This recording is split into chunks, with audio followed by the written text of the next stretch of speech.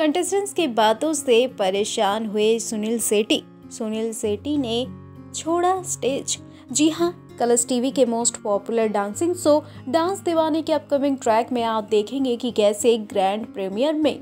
आपको दिखेगा डांस दीवाने परिवार का एक अलग टशन इस दौरान जहां कंटेस्टेंट अपने धमाकेदार परफॉर्मेंस से सबके होश उड़ाएंगे तो वही आप देखेंगे कि कैसे डांस दीवाने परिवार को बांटा जाएगा इस दौरान हर एक परफॉर्मेंस में दो दो कंटेस्टेंट नजर आएंगे जब पार्टनर्स मिलकर एक दूसरे के हुनर को और भी ज्यादा निखारेंगे लेकिन इस दौरान दो कंटेस्टेंट ऐसे होंगे जो एक दूसरे की शिकायत करेंगे हालांकि ये सुनकर जहां सुनील सेठी स्टेज छोड़कर चले जाएंगे कहेंगे कि वो काफी ज्यादा बोर हो रहे हैं तो वही छूटेगी बाकियों की हंसी डांस दीवाने से जुड़ी इसी तरह की लेटेस्ट अपडेट एंड गॉसिप के लिए हमारे चैनल पर नजर रखिए और हमारे चैनल को सब्सक्राइब करना और बेलाइकन को प्रेस करना बिल्कुल ना भूलें